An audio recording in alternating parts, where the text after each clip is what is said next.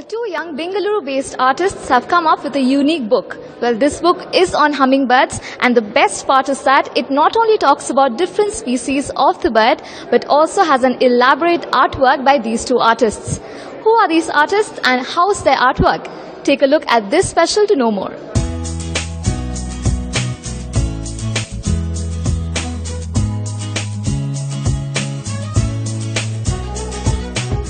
You see these beautiful artworks featuring hummingbirds?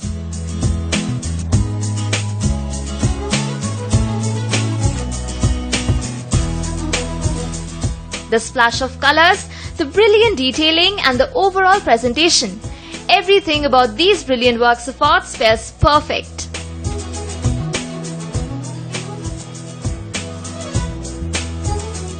They look so real that you might mistook these for photographs.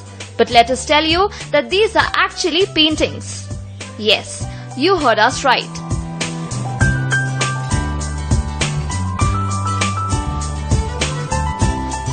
The people responsible for creating these masterpieces are two artists from Bengaluru, Sangeetha and Vydhehi.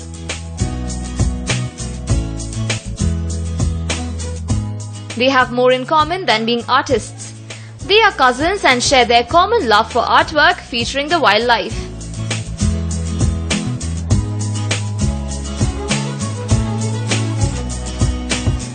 However, there's more to Sangeetha Kadur and Vydhehi Kadur. They are the only Indians to have contributed to an international project, a book on hummingbirds.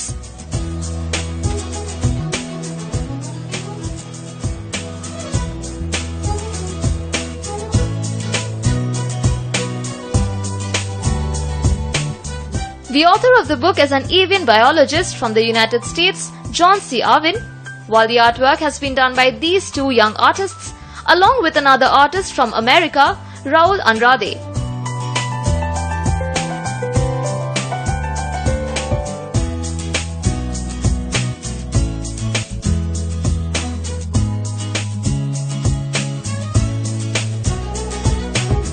The book that took years to put together released in June this year in the United States, while selected illustrations from the book was displayed in Bengaluru in an initiative by the Felis Creation and Gorgas Science Foundation.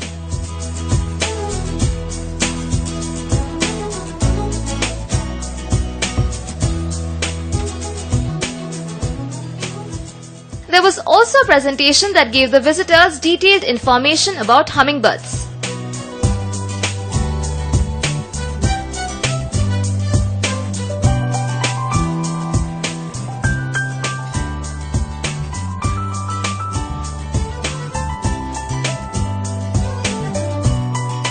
We caught up with the two sisters to know more about the book and what was it like working on a unique project such as the book on hummingbirds.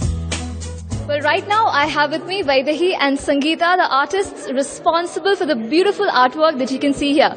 Hi Sangeetha, hi Vydhehi. So what is this book all about? Tell us more about that. Thank you.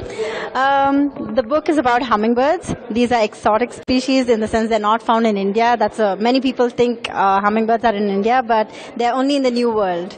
So this particular book is about the birds, the habitat, the um, flowers that they feed on, the male and the female, everything put together and composed uh, scientifically and aesthetically, and a coffee table book.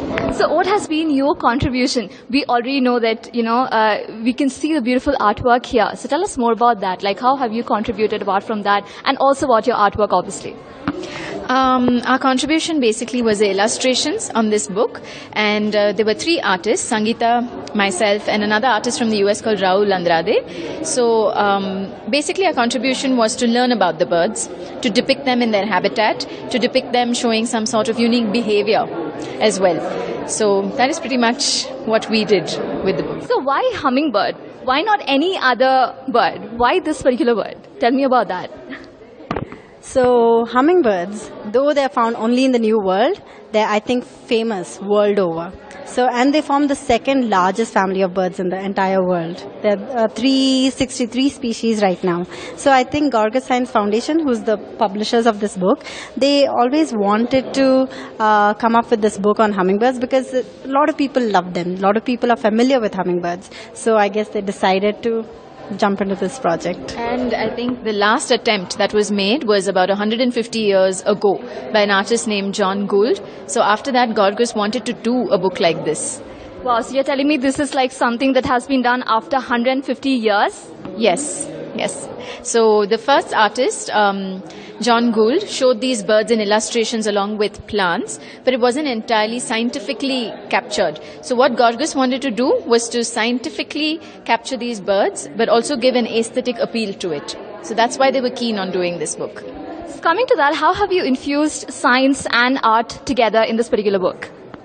We had a researcher helping us as to these birds are co-evolved with the plant species and they help in the pollination. And the plants have evolved to uh, you know uh, give out their nectar to these particular birds. And it has been a, relationship that they've shared for year, years together now.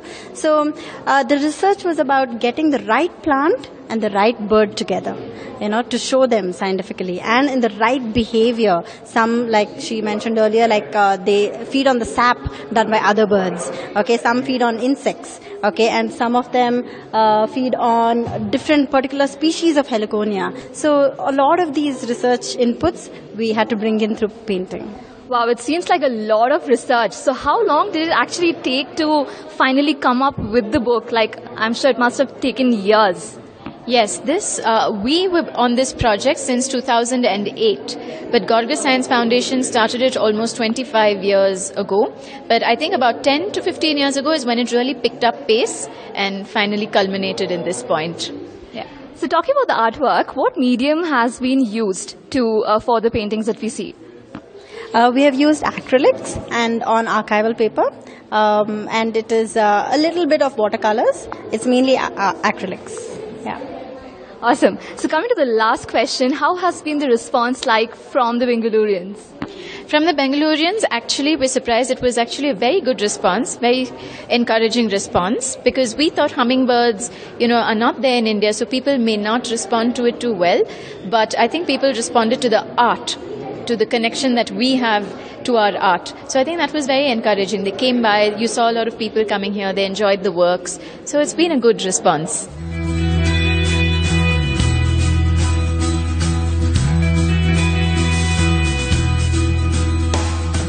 Titled Hummingbirds, the book showcases over 300 species of hummingbirds.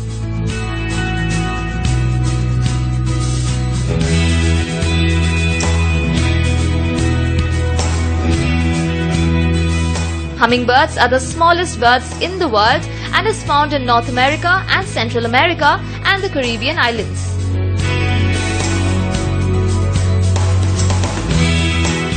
Hummingbirds get their name from the fact that they flap their wings so fast, about 80 times per second, that they make a humming sound. They can fly left, right, up, down and even backwards and even upside down.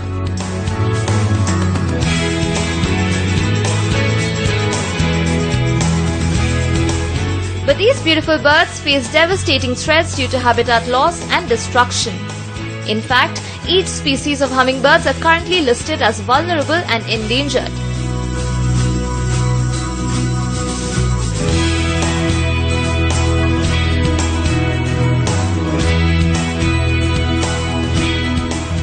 Sangeetha, who has been an avid bird watcher for quite some time now, felt that working on this would be a perfect opportunity.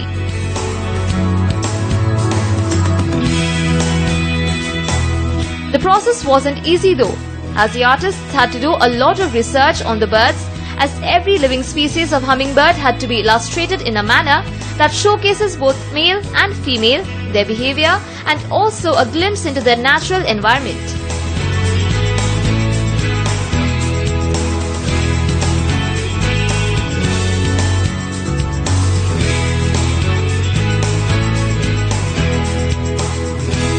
The various species of hummingbirds, the exquisite beauty and diversity, beautifully portrayed through Sangeetha and Vydhehi's artwork, left Bengalurians spellbound. I think it's fantastic the way they have combined the birds along with uh, you know the background, the flowers and the nature, along with the rain and the moss.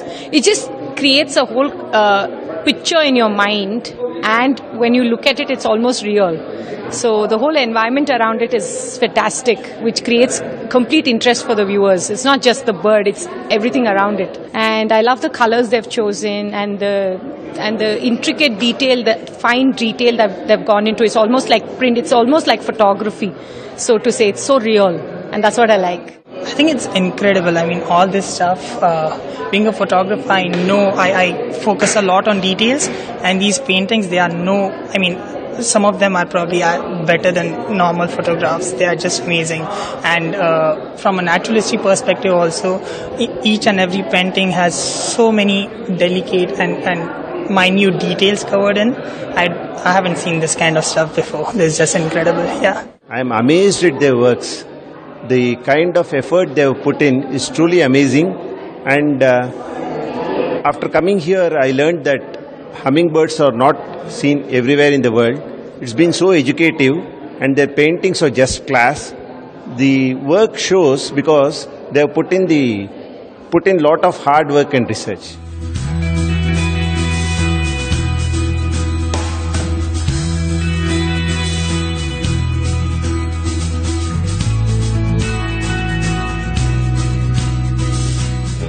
Main objective behind this initiative was to depict these birds realistically so that both the scientific and artistic aspect are kept intact. The idea was to present different facets of the hummingbirds and not just one angle of it.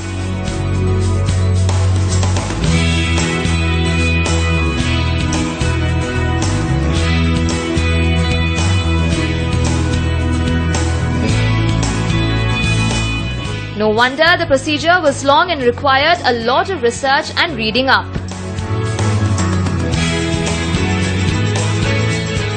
But at the end of the day, what these artists have achieved by creating these masterpieces is indeed commendable.